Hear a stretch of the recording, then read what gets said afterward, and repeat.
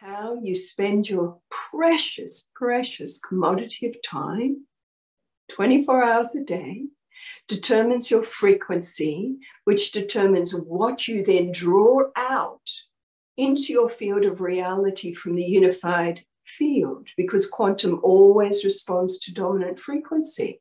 So if you're living in beta frequency game of this is all there is, it's not possible, this world sucks, our government sucks, we have no freedom, blah, blah, blah, blah, blah, blah, then quantum just goes, okay, have more of that. But if you go, yeah, it's just a movie, I've watched it enough, I want to play a different game now. The movie I want to play is the experience of the magnificence of my human design. I want all the gifts I'm already carrying with my own body of light, called my divine potential expressed in human form.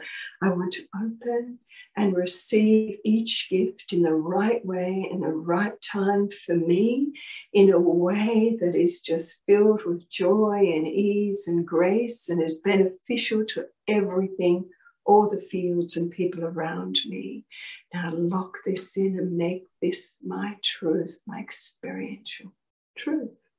And the whole quantum unified field goes, oh my God, there's another one who's really at that point, ready, open to experience this.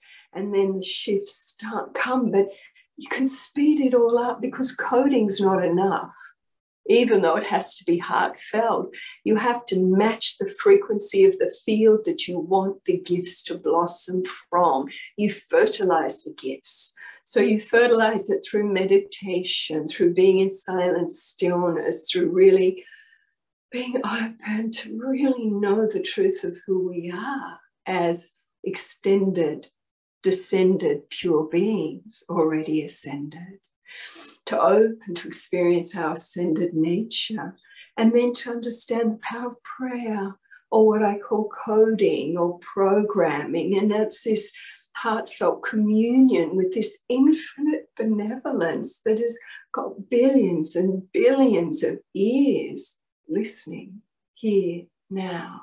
This supreme intelligence is so wise and so loving and so benevolent I've been studying experientially the hmm. field of benevolence for years now. I just love it, favorite field. So you pray, you code, you know, I am pure love, I am infinite, I am eternal, are the trigger codes to let that pure part of you rise.